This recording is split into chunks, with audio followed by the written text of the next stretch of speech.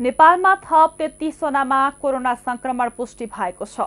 देशभर गरिएको दुई हजार नौ सय बयालिस पिसिआर परीक्षणका क्रममा बत्तीसजना र दुई हजार एक सय सत्र एन्टिजेन परीक्षणका क्रममा एकजनामा कोरोना पुष्टि भएको हो।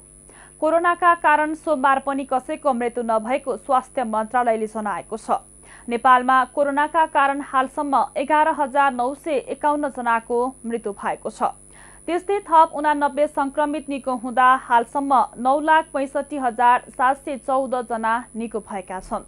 हाल नेपालमा आठ सय बयालिस सक्रिय सङ्क्रमित आइसोलेसनमा रहेको मन्त्रालयले जनाएको छ।